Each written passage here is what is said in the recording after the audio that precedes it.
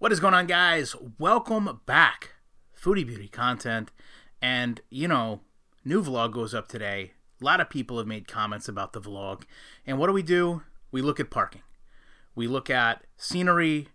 And it's interesting to me that they almost use copyrighted music as a crutch for just overlaying music and walking around. Now, there's a beautiful fountain here.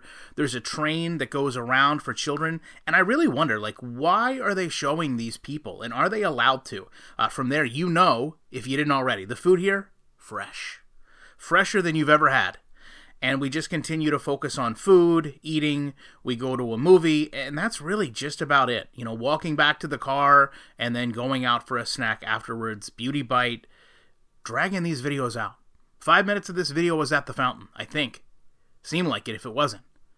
Less than a minute. Love to know your thoughts. Appreciate you watching and be back as soon as I can with more content.